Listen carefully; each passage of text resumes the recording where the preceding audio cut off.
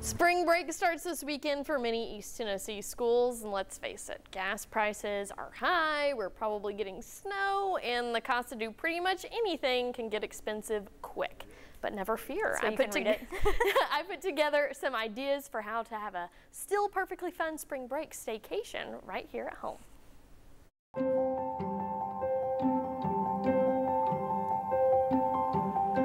Spring break blooms, well, after the snow comes through, but uh, let's get back to the warm thoughts. There's plenty to do right in your own backyard without having to travel far or break the bank to have fun. Let's start in Sevier County.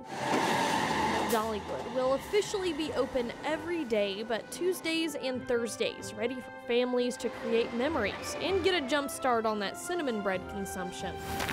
Or maybe you want a little more serenity and time in nature. There's bukus of hikes and trails to wander down in the Great Smoky Mountains National Park. Or you could always venture into the many tourist attractions in Pigeon Forge and Gatlinburg, like the Island, Titanic Museum, or mini golf. Back in Knox County, there's so much to choose from to create an unforgettable staycation spring break. Knoxville for a chance to walk on the wild side. You can explore with the family or sign your kids up for the three day spring break camp.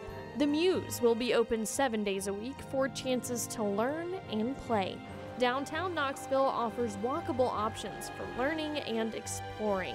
Go bowling, eat an ice cream cone, or take a trip back in the past at the East Tennessee History Center.